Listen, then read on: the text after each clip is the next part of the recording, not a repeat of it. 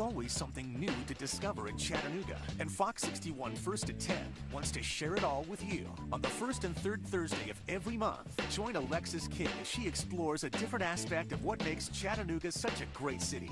Join us as we discover Chattanooga. Discover Chattanooga is powered by EPB Fiber Optics.